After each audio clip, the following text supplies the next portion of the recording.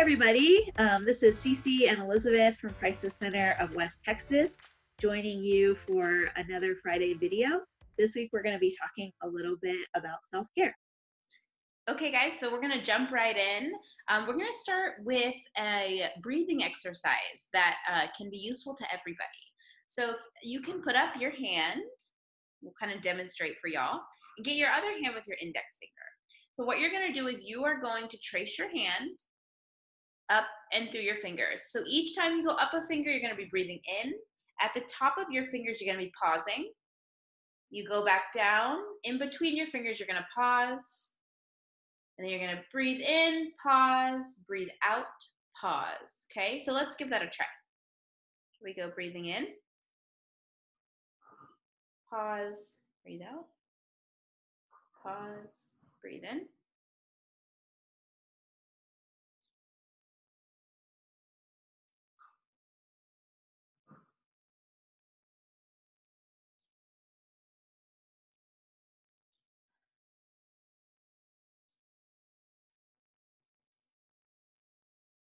Okay, good job. So, the reason why we wanted to do that take five activity is because we are talking about self care today. So, self care is really, really important. Um, let's talk a little bit about what self care is. So, I feel like we hear that word a lot. What is self care? Um, so, self care is really unique to each person. It means just doing something that makes you happy and maybe calms you down a little bit. So, self care for one person could be grabbing a book and sitting on the couch and reading. Or self care for another person could be going to the grocery store without kids or without anybody else, right? so um, self care is so unique to each person.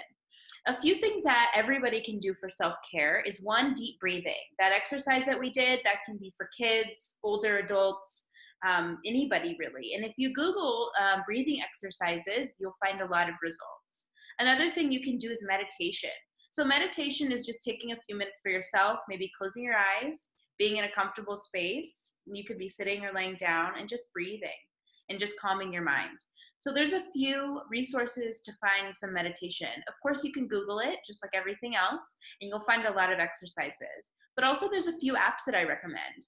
One is called Headspace, and the other one is called Calm. So those are both free apps that you can download on your iPhone or Android, and they have free meditation exercises. So I, I hope that everybody this week or today takes a few minutes for themselves and practices um, some self care.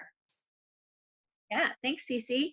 Um, we also received some information from a local Texas domestic violence agency, a partner of ours called Brighter Tomorrows, and they gave some suggestions for practicing self care now that you might be home with family members, with partners that you're not usually spending as much time with. So um, they had a couple of suggestions. One is trying to take time in your own space if you can. So if you want to sit out on the porch while your partner's inside or in one part of the house and your partner's in another, taking time separately. Also, just keeping with a consistent schedule. So if you're used to being at work and your kids are at school, still trying to keep up that consistent schedule so that everybody feels those daily rhythms can be helpful. And then finally, taking time with your partner to discuss things you need um, or want kind of during this time at home more. Um, however, we recognize that people who are living with abusive partners that this might not be possible for them. So we want to emphasize the need um, for safety planning if you are with an abusive partner and home more during this time. So um, the agency Sanctuary for Families put out an article called Safety Planning During COVID 19 Tips for Survivors from Survivors and they suggest um, possibly you know if you are having to be home more find the safest room in your house the house with the most exits the house where you have access to the phone and try to spend as much time as possible in that room. Also identify a buddy or a couple buddies that you can be in touch with during this process update them with how things are going maybe even develop a code word with them if you are wanting someone to intervene if things escalate to a certain point. So um, one of our um, contributors jen asked a question on our last video about how to support survivors. So if you're asked to be that buddy, please do so. But also allow a friend of yours who may be a survivor to make some of their own choices about safety planning. We want to empower people, acknowledging they know their relationship best um, and allowing them to make that safety plan. and Just join with them if they ask you. Um, if you or someone you love is looking for more safety planning, our hotline is available 24 7 to help with safety planning, and our services are available to survivors. Again, that number is 866 627 4747. So that is um, what we have for you on self care. You can feel free to ask more questions, engage with us through comments um, or direct messages.